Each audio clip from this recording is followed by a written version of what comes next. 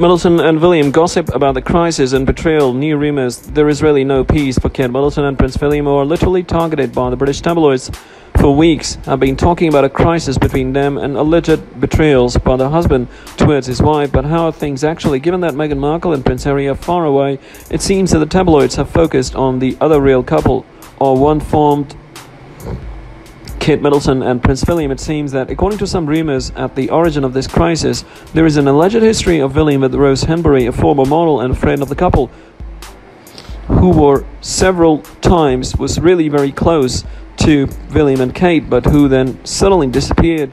William and Kate. Is it crisis? The betrayal hypothesis arises. Talking about this story was Dan Wootton, the Sun journalist who claims that behind the disappearance of the model, there would be the jealousy of the Duchess of Cambridge towards her husband. According to the news released by the journalist and as reported by some experts of the royal family, behind this crisis there would be even the Williams' betrayals towards Kate, and for this reason, there has been also talk of divorce in recent days. In recent weeks, it seems that there have been so many rumors, rumors and news leaked from the sources very close to the couple.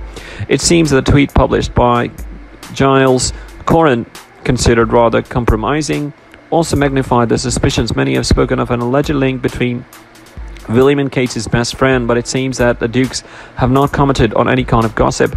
William arranges a special surprise for his wife's birthday. Do you have something to be forgiven. Anyway, nothing is certain at the moment as there has been no official statement, but it appears that something is really actually happening at Kensington Palace during the Christmas Mass in Sandringham. Kate and William apparently had long faces and there was certain distance and tension between the two.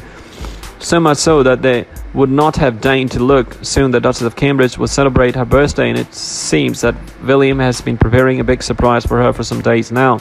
According to rumors, Prince William is planning a romantic holiday in the Antilles with their children George, Charlotte, and Louise.